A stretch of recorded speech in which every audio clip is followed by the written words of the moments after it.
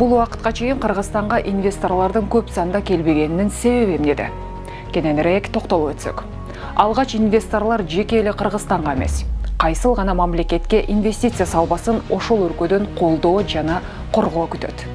Тилекке каршы бүгүнкү күнгө дейре салынган инвестициялардын иштеп кетүүсүнө ар кандай тараптардан бут тосуулар болуп келген маселен бир жагынан иштөөгө болгон кепилдик уруксат кагаздарын алуудагы бюрократия жана коррупция болсо экинчи жагынан кан таладай соргон уюшкан кылмыштуу топтор.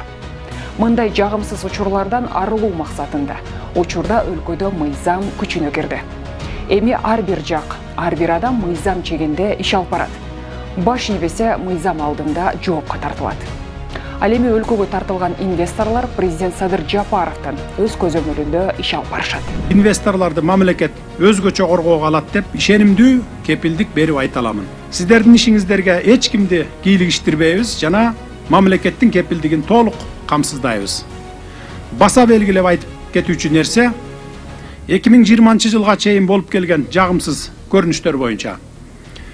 Мамлекеттик органдар болобу күч түзүмдөрүнөн болобу же деструктивдүү элементтерден болобу келип болбогон шылтоо таап опузалап кандайдыр бир иштерине тоскоолдук кылып акча талап кылууларына биз жол бербейбиз кимде ким тоскоолдуктарды кылса аны менен жеке өзүм эсептешемин кокус биздин инвесторлорго карата андай чекилик иштердин чет эле билинсе мыйзамсыз иш аракеттерге баргандар өтө катуу жазаланат сырттан инвестиция кирбесе өлкөнүн өнүгүшү кыйынга турат жыйырма экинчи жылы чет элдик инвестициянын агымы тогуз миллиард акш долларын миң жыйырма биринчи жылга салыштырмалуу бир бүтүн ондон төрт эсеге өскөн эки миң жыйырма экинчи жылы чет өлкөлүк түз инвестициялардан түшүүлөрдүн эки бүтүн ондон алты миллион акш долларын биринчи жылга салыштырмалуу он тогуз бүтүн ондон беш пайызга көп.